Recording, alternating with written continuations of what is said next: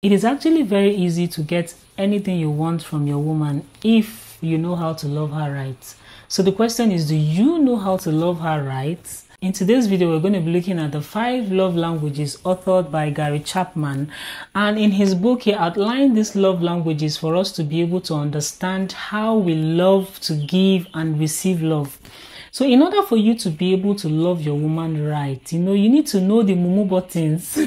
buttons that you would press and unlock, you know, all of the possibilities that you want. At the end of this video, you would have learned what your primary love language is and of course that of your spouse. In order for us to know that, we have to look at the five love languages one after the other. And in no particular order, let's kick it. Number one, words of affirmation. Now, this is a situation where you know you show appreciation and love to your spouse by you know telling them you appreciate them, you love them just by words of your mouth or by written notes, but it has to do with words. Okay, this one particularly, most women actually love it because you know women are driven by what they hear, right? Most times when you tell them something, they tend to take it into deeper considerations. Words of affirmation is a way of showing love. It can be your own way of showing love and if it is your way of showing love you also want to be loved back in that manner. Number two act of service. Some people like it when you help them to complete a task or you just help them out. Maybe they are busy they are doing something and you just come around and you help them. To them that is like the ultimate thing. So people whose primary love language is act of service they just appreciate it so much when you're there to serve. And most times they also show appreciation and love to other people, especially to their spouses, by serving them because that is how they love to receive love and to give love. Let me give you a typical example. Before I got married, I lived with my sisters for a while. So, two of my sisters actually, and at different times uh, when I stayed with them, they were already married with children, right? While I was still with them, I was watching how they were living in their homes and how their husbands were behaving. It was more like a learning process, a learning curve for me, right? There are so many things I learned from them that I felt was like applicable to every relationship. I mean, every marriage. Now, fast forward to when I got married, you know, I was expecting a certain thing from my husband because of the things that I've seen from my sister's um, respective homes. One of them, her husband doesn't have any problem waiting to be served. Like, in fact, eh, when he's hungry, he will make the food himself dish his own and quietly eat and just mind his business. When he's hungry, he doesn't even wait for her to even, you know, come and serve him his food and all of that. Most times he likes to make his food safe and just eat it. Or when he comes back, he goes straight to the kitchen, get his food and eat. I saw all of these things. I did not know that it was training me and I kind of perceive it as normal to everywhere I find myself.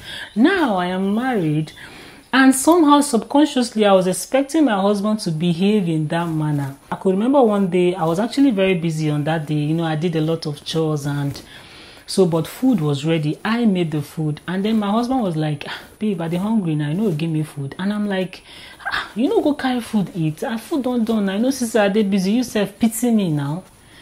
And I was like, so if I don't go give you your food, you know, go eat. And then he told me that no, I'm not to eat too, I will stay like that. Do you know that he stayed like that? He didn't go to the kitchen to dish food for himself. He just went to his room and he just, you know, now I can laugh about it. But then it was not funny. Like it was a serious problem to me because I was like, ah, this guy want kill me for this house. Like all the work what they do you know go fit just go carry food eat. Which one say go dey wait make i come dey serve the food? Sometimes of course i serve his food you know but there are times that him go just dey there. I just feel say bros just help yourself now. You know you understand what i'm trying to say? So but I did not know this was like becoming a problem for us because I was beginning to think that this guy want use housework finish meal. Oh. You won't help me most times. You just be there and you want me to always and there is something he always does. When I bring his food to him, he would always tell me thank you.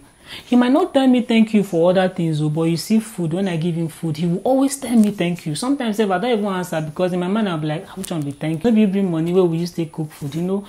But then I began to think and I began to do some research and then boom, it dawned on me that this is his love language.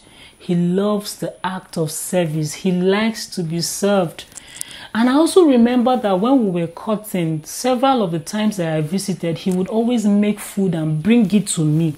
and I go eat. So that was why then I was like going haywire, like, ah, why is it that even that time she be they give me food now, you know, if you go kitchen, go carry food, eat, you know. So I felt like he has completely changed, maybe because he was trying to get me that time. Now he don't get me. You know, one can they do like the way they do before. I did not get the point. And you know what?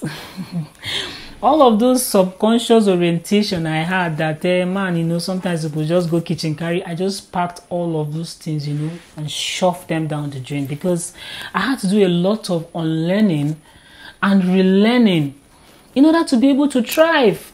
Because the truth of the matter is, marriage is somehow, you know, no matter how much knowledge you have, once you go into marriage, at some point you'll be shocked because you know all of those things wey you know some of them go come dey applicable again i am telling you facts i'm sure like everyone who has been married at some point you just realize that come I thought this is how it's supposed to be, and I saw this thing be. So, in my own case, it took me time to realize, and I am so grateful that I was able to come to this realization. And to people like Gary Chapman who took their time to pen down their wisdom, you know, imagine that people don't come out to put out their wisdom out there.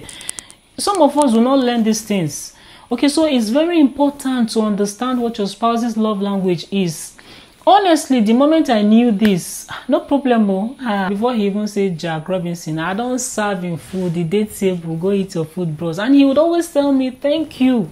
And I would tell him, You're welcome, my love. Up next, quality time. Some people love to spend quality time with their spouses.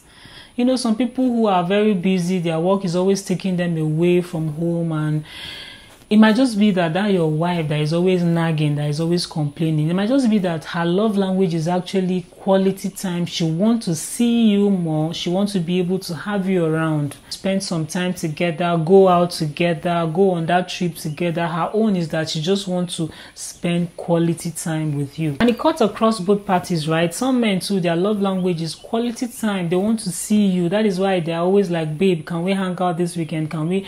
Let me say they disturb. Now you won't love language with that. Lest I forget, I'm going to leave a link to Gary Chapman's website in the description where you can take a test to find out what your primary love language is. So before you go, ensure to check that link, check that website, and do the test. It's completely free, and this is not sponsored, right? I'm just putting out this information because I believe that it will help people. So let's go to the next point, which is receiving gifts. Ah, some people like gifts, you know, it's like women, we like gifts. Some of us like it when you buy us gifts, and you know what? It doesn't have to be something so big. Things as simple as shawarma for Nigeria, we'll get what they call shawarma, right? or as simple as buying her, even if it's a rose flower, as long as it's a gift, she's going to appreciate it if that is her primary love language. So some people love to receive gifts, and people who love to receive gifts also they like to express love to other people by giving gifts to them. So before I go to the last point, I'm going to say here that when it comes to love languages, this is how you show love to everybody, including your children, your spouse is of course most most importantly, your children, your mom, and you know, even your friends. This is not particular only to people who are in a relationship or people who are married. If you have siblings and you're not married yet, when you understand their love languages, you'll be able to show them love better. If it's someone who enjoys quality time, you know that, okay, fine, I don't even need to give this person money. Make I just hang around with them. It go appreciate me, you know. So it's very key to help us know how to show love to everybody. And of course, love is a universal thing because even God in heaven himself is love. His love and love is him. He sent his son to die for our sin. No love can be greater than that. He gave the ultimate gift, right?